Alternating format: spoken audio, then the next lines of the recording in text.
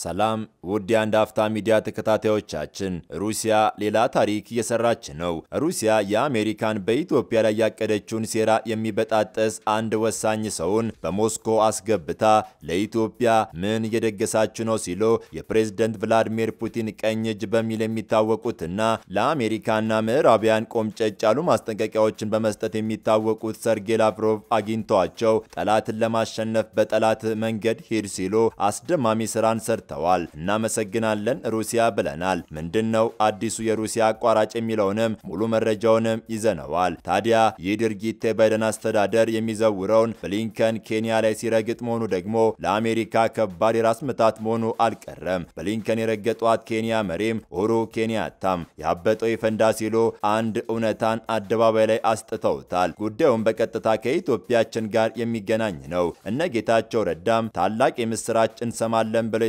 የተጠባበቁበት ነገር መርዶን ይዞላቸው መጥቷል። ምንድን ነው ትሰሙታላችሁ። ኢትዮጵያውያንን ከእኛ በላይ በእኛ አሸናፊነት ሙሉ እምነት ያላቸው የውጭ ዜጋ ኢትዮጵያውያንን ልብ የሚያሞቅ ነገርን አድርገዋል። ሁሉንም መረጃዎች በዝርዝር የምነግራችሁ ይሆናል። አብራችሁን ሆኖ መልካም ቆይታ።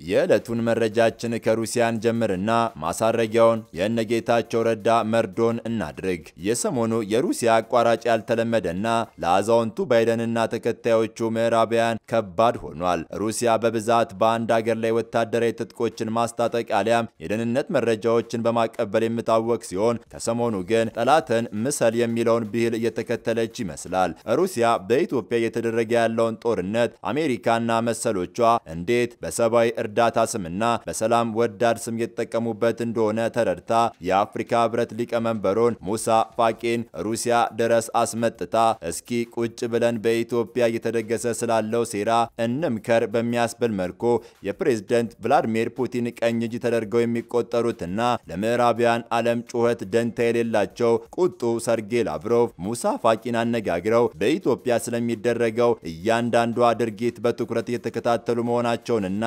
ለማስማማት በሚደረገው በአፍሪካ ህብረት በኩል የሚደረገውን ጥረት እንደምትደግፍ ሲገልጹ የኢትዮጵያ ሉዓላዊነት ግን ጥያቄ ውስጥ የሚያስገባ ድርጊትን ግን ሀገራቸው ሩሲያ እንደማትቀበል አሁንም ደጋግመው ማሳወቃቸውን አልአይን ዘግቧል። አንቶኒዮ ብሊንከን ኬንያ መግባቱ ያልተዋጠላት ሩሲያ ከሰሞኑ ለብልጽግና ፓርቲ ከሩሲያው ገዢ ፓርቲ የተላከው ጥብቅ መልእክት አዲስ አበባ መግባቱን ነግረናችኋል። አሜሪካ በእርዳታ ስም ከሶሪያ እስከ ሊቢያ ብሎም አፍጋኒስታን ያደረሰችውን እልቂት በኢትዮጵያ ለመድገም በርካታ ጥረቶች እየተደረጉ መሆኑን ሩሲያ ከወራት በፊት በቃል አቀባያ በኩል በሰጠችው መግለጫ ላይ በሰብአዊ እርዳታ ስም በትግራይ ጦርነት የተሰራው አስነዋሪ ተግባር እንዳበሳጫት ገልጸው ይህ ድርጊት በፍጥነት እንዲታረም ማለቷ ይታወሳል። ከዚሁ ጋር በተገናኘም ሩሲያ የተመድ ዋና ጸሐፊውን አንቶኒዮ ጉቴሬዝን አስቀምጠው ማናገራቸውን ከዚህ ቀደም ነገርናችኋል። በዛሬው ዕለትም የመንግስት ኮሚኒኬሽን አገልግሎት በሰጠው መግለጫ ላይ እንዳሳወቀው ከሆነ ሰብአዊ እርዳታ ጭነው በትግራይ ከገቡ ከ1114 ተሽከርካሪዎች ውስጥ 872ቱን አሸባሪው ህወሓት ለጦርነት የተጠቀመባቸው ነው ተብሏል። የሰብአዊ መብት ተቆርቋሪና ተራዶ ድርጅቶች ዜጎች እርዳታ ለማድረግ አንድ ቦታ አካባቢ ሳይሆን በሁሉም ክልሎች ትኩረት ማድረግ አለባቸው ያለው የኢትዮጵያ መንግስት፣ ያም ሆኖ መንግስት በቻለው አቅም የሰብአዊ እርዳታን እያደረሰ ቢሆንም እጥረት አለ ተብሎና ተጋኖ የሚወራው ሐሰት ነው ከአንድ ቦታ በስተቀር እየደረሰ ይገኛል ብሏል። እንግዲህ ይህን በሚገባ ካጤነች በኋላ ነው ሩሲያ የአፍሪካ ህብረት በጦርነት ላይ ያሉ ወገኖችን ለማስታረቅ የሚያደርገውን ጥረት ሩሲያ በመልካም ጎን እንደምትቀበለው ለህብረቱ ሊቀመንበር ሙሳ ፋቂ ሩሲያ የገለጸችው። የአፍሪካ ህብረትና ሩሲያ በኢትዮጵያ ባለው ወቅታዊ ሁኔታ ላይ መወያየታቸው ተነግሯል ያለው የአልአይን ዘገባ እንደሚያመላክተው ከሆነ ሁለቱ ወገኖች ውይይት ያደረጉት የአፍሪካ ህብረት ኮሚሽን ሊቀመንበር ሙሳ ፋቂ ማህማት በሞስኮ ይፋዊ የስራ ጉብኝት ባደረጉበት ወቅት መሆኑ ተገልጿል። ሙሳ ፋቂ ማህማት በሞስኮ ቆይታቸው ከሩሲያ የውጭ ጉዳይ ሚኒስትር ሰርጌይ ላቭሮቭ ጋር ውይይት ማድረጋቸውን ያነሳው ይኸው ዘገባ ሁለቱ ወገኖች በኢትዮጵያ ያለው ከባድ ችግር ፈጣን መፍትሄ እንደሚያስፈልግም ተነጋግረዋልን የተባለው የአፍሪካ ህብረት በጦርነት ላይ ያሉ ወገኖችን ለማስታረቅ እያደረገ ያለው ጥረት ሩሲያ በመልካም ጎን እንደምትመለከተው መግለጹን አልአይን ኒውስ በኢትዮጵያ የሩሲያ ኤምባሲ ያገኘው መረጃ ዋቢ አድርጎ ዘግቦታል። በዚሁ ዘገባ ላይም አሁን ላይ ሩሲያ ሩሲያ በአፍሪካ የአሜሪካ ከፍተኛ ባለስልጣናት እግር ማብዛት የጣማት አትመስልም። ለዚያም ነው ከኢትዮጵያን ባለፈ አሜሪካ ጥርስ የነከሰችባትና ትላንት በዋሽንግተን ሲመከርባት የነበረችው ናት የተባለችው ሶማሊያን ጨምሮ በጉዳያቸው እኔም ያገባኛል በሚል ከህብረቱ ሊቀመንበር ሙሳ ፋቂ ጋር መምከራቸውም ከኢትዮጵያ ውጭ በሌሎች የአፍሪካ ሀገራት ያሉ ግጭቶችን መፍታት እንደሚገባ ሁለቱ ወገኖች ተግባብተዋልን የተባለው። ከዚህ ባለፈም በሊቢያ፣ ሶማሊያ፣ ሱዳን፣ ማዕከላዊ አፍሪካ ሪፐብሊክ እና በሌሎች ሀገራት ያለው ሁኔታ በተመለከተ ውይይት ተደርጎበታል። በዚሁ በሞስኮ ቆይታ ሙሳ ፋቂ መሐማትና ሰርጌ ላቭሮቭ ከአውሮፓውያኑ 2022 እስከ 2025 በሁለቱ ወገኖች የሚተገበር የትብብር ስራን ቶሎ ለማጠናቀቅም ተስማምተዋል ተብሏል። ይህ የትብብር ስራ በሩሲያ የሶቺ ከተማ የተፈረመው የሁለቱ ወገኖች ትብብር አካል እንደሆነም ተገልጿል። ሩሲያ አሁን አፍሪካ ላይ እግሯን ሰፋ አድርጋ እያስቀመጠች ነው። ሁለቱ ወገኖች በሩሲያና በአፍሪካ ህብረት ስትራቴጂካዊ ወዳጅነት ዙሪያ መወያየታቸው የተገለጸ ሲሆን ውይይታቸውም የጋራ ግቦችን ለማሳካት፣ ሰላምን ለማስፈን፣ ጸጥታን ለማረጋገጥ፣ መረጋጋትን በማምጣት ዘላቂ ልማትን ማረጋገጥ ዙሪያ ላይ ያተኮረ እንደነበረም ተገልጿል።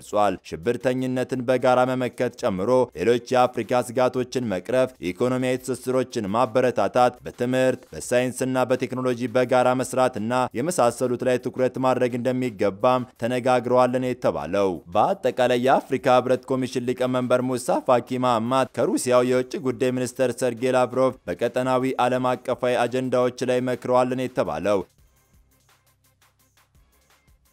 ታዲያ በሩሲያ የሰሞኑ አደገኛ ጸረ ሳተላይት የሚሳኤል ሙከራ ብሎም በጥቁር ባህር ያደረገችው መቶ ሺህ የሚጠጋ ወታደርን የያዘ አደገኛ እንቅስቃሴ ጋር ተያይዞ ከነድንጋጤ ወደ አፍሪካ ምድር ናይሮቢ የተከሰተው የአሜሪካው የውጭ ጉዳይ ሚኒስትር አንቶኒዮ ብሊንከን ጉዞ ለኢትዮጵያ ትልቅ የሆነ ተስፋን ይዞ ይመጣል ተብሎ ይጠበቃል ወይም የሴራ ኔትወርካቸውን አጥብቀው የሚሰሩበት ይሆናል ያለው ደግሞ ሱሌማን አብደላ ሁኔታውንም ያብራራዋል። አሜሪካ ለህዋት የምታደርገውን ድጋፍ አቁማ ወደ ሰራኸው ክልል ተመለስ፣ እዛው ላይ ሆነ ችግር ይፈታ የሚል አቋም ትይዛለች የሚል ግምት አለ ይለናል ሱሌማን አብደላ። ህወሓት ከጉድጓዱ የወጣው በምዕራባውያኑ ድጋፍ ነው። ይህ ድጋፍ ከተቋረጠ ህወሓት አይተንም አይባልም።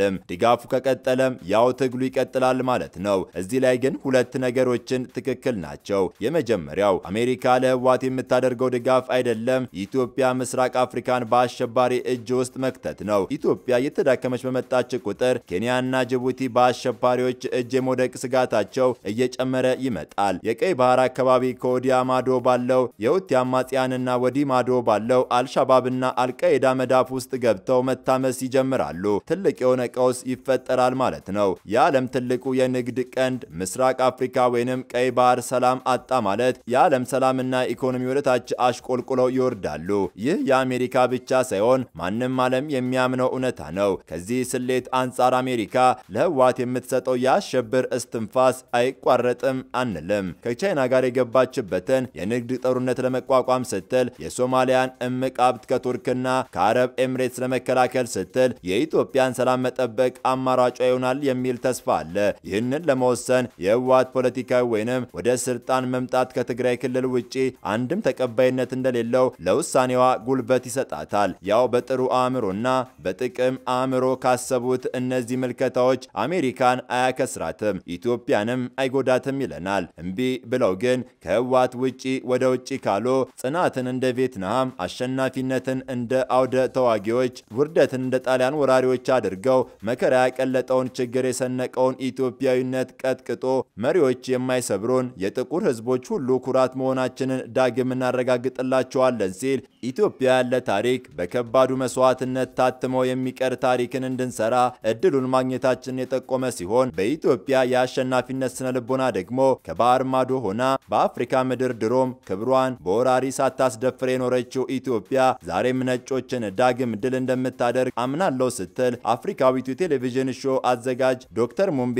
ሲራክ በወቅታዊ የኢትዮጵያ ጉዳዮች ለቴሌቪዥን ተከታታዮቿ ባዘጋጀችው መሰናዶ ኢትዮጵያ ለብቻዋ ከምዕራቢያን ኃይሎች ጋር ጦርነት ላይ እንደሆነች ገልጻ በስተመጨረሻ ድል የምታደርገው ኢትዮጵያ እንደሆነች እንደ እንደምታምንም ተናግራለች። ሊቢያ ላይ ወረራ የፈጸሙት team ኦባማ ጆ ባይደንን ተከትሎ ነጩ ቤተ መንግስት ገብቷል ያለችው ዶክተር ሙምቢ ይህ ትግል በኢትዮጵያ ላይ የተከፈተው ዘመቻ ሳይሆን መላው አፍሪካን ኢላማ ያደረገ ነው በማለት ተናግራለች።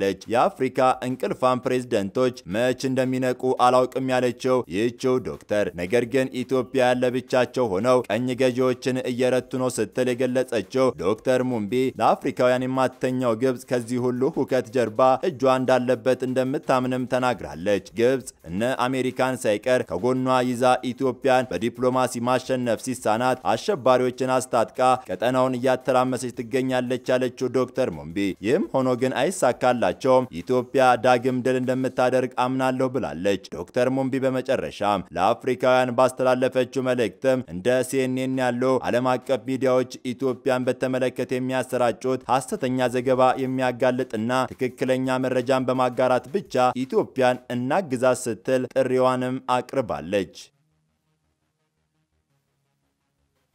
ከዚሁ ጋር ወደ ተያያዘው ሌላኛው መረጃችን ስናልፍ በቅርቡ አዲስ አበባን የረገጧት የኬንያው መሪ ኡሁሩ ኬንያታ አንድ እውነታን አደባባይ ላይ አስጥተው ታይተዋል። ጉዳዩ የኬንያው ፕሬዝደንት ኡሁሩ ኬንያታ የምዕራቢያን መገናኛ ብዙሃን ዜኖችን መመልከት ያቆሙበትን ምክንያት የሚመለከት ነው። ምዕራቢያን መገናኛ ብዙሃን በአፍሪካ ጉዳይ ላይ ዘገባ ሲሰሩ በቦታው ከመገኘት ይልቅ በርቀት ሆኖ መስራትን ይመርጣሉ ብለዋል ኡሁሩ ኬንያታ። ፕሬዝደንቱ በርካታ የምዕራቢያን አገራት ዜጎች በተገኙበት መድረክ ያደረጉት ንግግር ቱና ቸክ በሚሰኝ እና በስዋሊ ቋንቋ እየተመለከትን ነው በሚል ትርጉም የአፍሪካን ትክክለኛ ትርክትና በአህጉሪቱ ላይ ያለውን የምዕራቢያን መገናኛ ብዙሃን በአፍሪካ ላይ የሚሰሩትን የተዛባ ዘገባ እንዲቆም በተደጋጋሚ ሲጠይቁ የሚደመጡት ኡሁሩ ኬንያታ በ Big Four አጀንዳ ኬንያ ላይ ባደረጉት ንግግር የመገናኛ ብዙሃን ፈር የለቀቀ አካሄድን ኮንነዋል። እነ አልጄዚራ፣ ሲኤንኤንን፣ ስካይ ኒውስ፣ ቢቢሲ እና ሌሎች በሩዋንዳ፣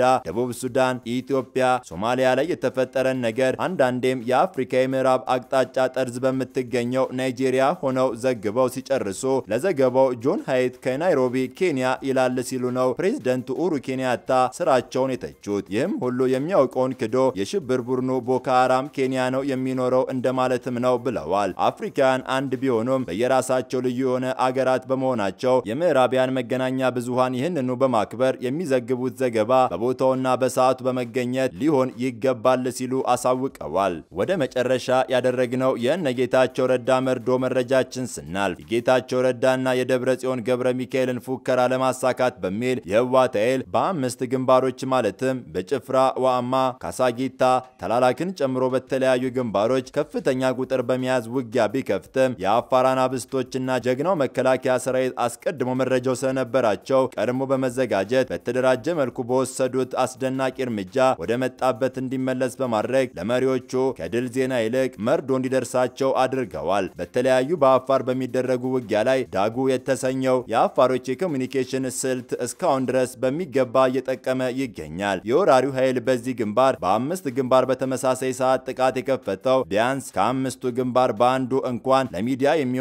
ድል እንዲቀዳጃቸው በማሰብ ቢሆንም ሙሉ ለሙሉ ግን በአፋር አናብስቶችና መከላከያ ኃይል ታላቅ ተጋድሎ ሳይሳካ መቅረቱን ከአካባቢ በወጣ መረጃ ለማወቅ ተችሏል። አንድ አፍታዎች ነን። ሰላማችሁ ይብዛ። ሀገራችን ኢትዮጵያን ከክፎች ስራ ይሰውርልን። በደህና ቆዩን። ጤና ይስጥልኝ።